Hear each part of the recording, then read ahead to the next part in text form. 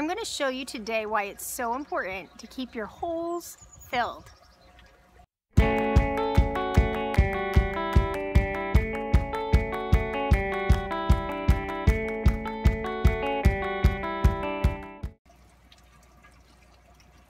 If you're growing on your tower garden, you want to keep your seedlings ready to go into the holes so that you can keep growing new plants.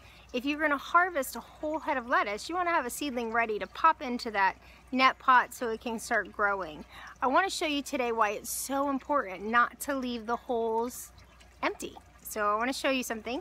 Um, today, this is um, just an, an empty pot and you don't want to leave where you don't have anything in the hole. Now it's very, it's, it's tempting because this, this net pot broke, so maybe you're tempted to just take that net pot out and throw it away. But get a few extras or pop that back in just to give the protection of the net pot. And I'm going to show you why. This is a huge Brussels sprout plant. So if you haven't seen that in the last um, post that I did, this is, this is finally getting some little Brussels sprouts on there but it's so huge that behind it, I knew the sun was not going to get it. So I did not replace the seed, but I kept the net pot and look what I got in there. This little guy is just chilling. I don't, I don't think he's uncomfortable. I think he is loving his little home there.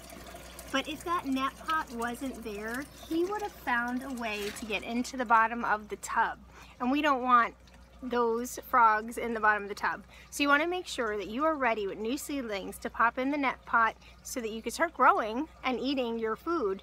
But if you can't or you're not ready, at least put a net pot in there so that you don't have a little feast of frogs in the bottom of your tub. Hope that's been helpful.